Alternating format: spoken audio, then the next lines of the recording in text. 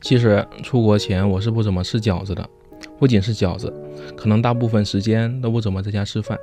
有时候朋友出门回来晚了，有时心情不好也就不吃了嘛。反正觉得千篇一律，爸妈做的饭几乎每道菜都是那个味儿。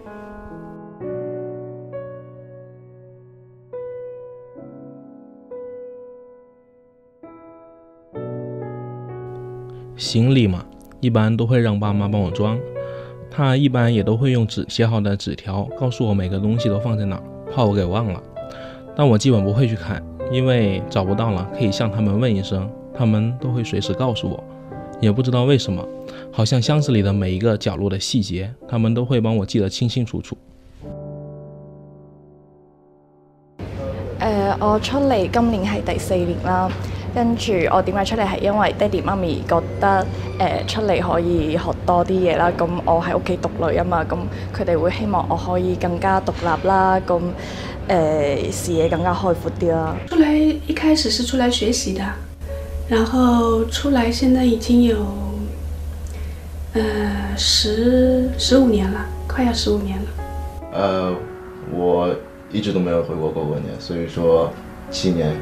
第八第八个春节吧，即将是。印象最深的话，应该是，就说的最多，也就是什么时候回来。啊，回来家以后，你什么时候走？你好烦啊！我爸跟我讲过，说就是不要随波逐流，嗯，让我要记得自己最重要的事儿是什么。你一定要好好学习，好好成长。我们在家等你。我们家其实没有什么很特别的习俗，就是因为我们家都是移民嘛，算是半移民嘛。然后就基本上有时候在家过年的时候，比如说大家在一起吃年夜饭啊，然后就是只有过年的时候各个远方的亲戚才会在一起，就因为我爷爷奶奶在家，就是会往爷爷奶奶那边走。然后年初一、初二就比如说去逛逛花街啊之类的。一惯就是嗯，亲戚朋友都聚到一起，然后一起玩啊，聊聊天啊，这样。我家就是吃饺子，我们是北方的，然后吃饺子。不过我家那儿有一个就是，嗯，不太一样的是，我们家那是吃爬虾馅儿的饺子，特别好吃。虾爬蟹。爬虾？我心里最好的过年状态应该是小的时候，那个时候。还没有什么禁止放烟花、禁止放鞭炮这样的事情，然后我们在家里吃着饺子，看完了春节联欢晚会以后，我们就会出去放鞭炮，然后放烟花。那个时候是年味最浓的时候。可以坐低落嚟同屋企人一齐食一餐团年饭，因为我真系四年加埋今年就系四年，我冇翻过屋企过年啦。想，啊，当然想，啊，毕竟。我四五年没回家了嘛，对吧？当然想了，当然想啊，当然想。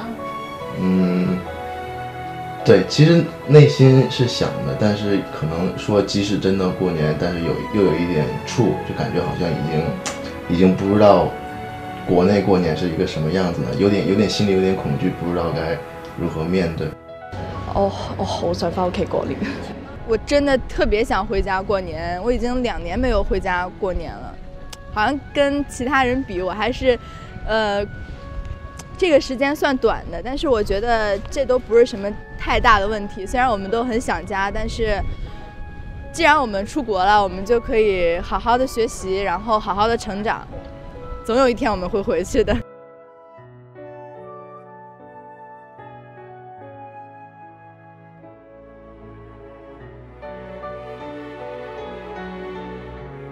过年吧，以前觉得真没什么，心情好了就下楼和家人看几眼春晚，一般也在房里面玩玩手机，打打游戏。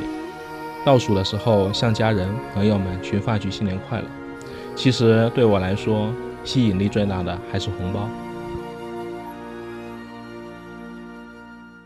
门前老树长新芽，院里枯木又开。生存了好多话，藏进了满头白发。